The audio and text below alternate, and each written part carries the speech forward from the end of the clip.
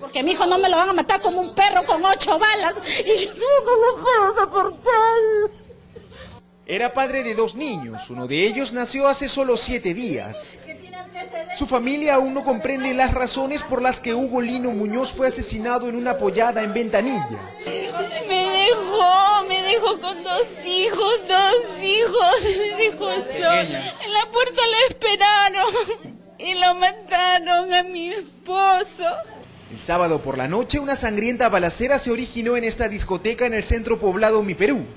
Aldo Mendoza Medina fue otra de las víctimas que murió acribillada en su interior. Mi hijito no se iba a ir pollada porque tenía que trabajar el domingo. Y inclusive yo le cosí su pantalón para que se vaya. Me quitaron la vida a mi hijo.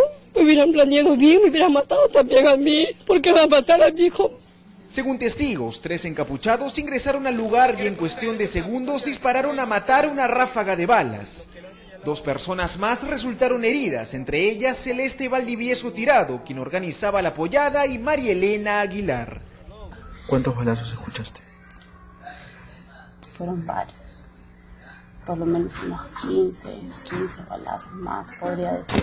Valdivieso fue herida en la pierna derecha y actualmente se recupera en el hospital de Ventanilla. Yo lo primero que quiero hacer es descartar de que yo estaba con uno de ellos. Entraron, obvio que es una actividad, entraron, les di la bienvenida, entraron, los atendí.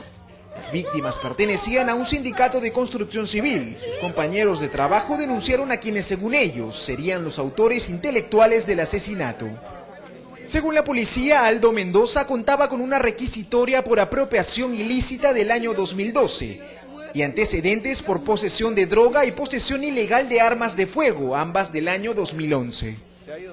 La policía investiga las pistas dejadas en la escena del crimen, mientras que la familia de las víctimas exige justicia.